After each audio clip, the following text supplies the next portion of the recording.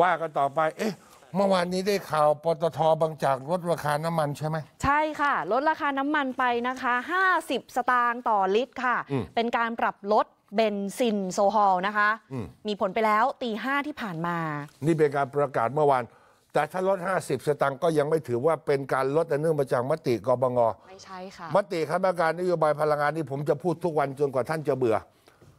มีการประชุมรองนายกสุพัฒนพงศ์เป็นประธาน 14 กุมภาผมจำแม่นวาเลนไทน์มีผล 15 กุมภา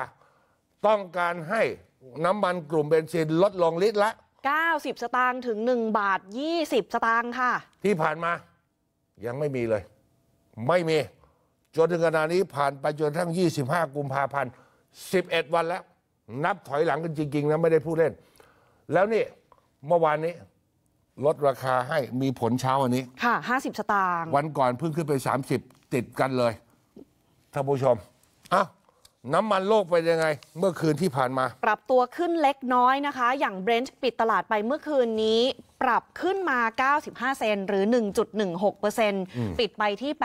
83.16 ดอลลาร์ต่อบาร์เรล ส่วน West Texas Intermediate ปรับขึ้น 93 เซนต์หรือ 1.23%ปิดไปที่ 76.32 ดอลลาร์ แต่ถ้าเทียบเป็นรายสัปดาห์ทั้ง 2 ตลาดแทบจะไม่เปลี่ยนแปลงเลยนะคะ เคลื่อนไหวอยู่ที่ 0.2 และ 0.3%สื่อต่างประเทศเขารายงานว่าตลาดยังคงกังวลต่อการปรับลดการผลิต และการส่งออกน้ำมันของรัสเซียเดือนหน้า เพราะรัสเซียเขาบอกว่าเขาจะปรับลดการผลิตน้ำมันลงวันละ 5 0 0 0 0 0 บาร์เรลในเดือนมีนาคมค่ะนี่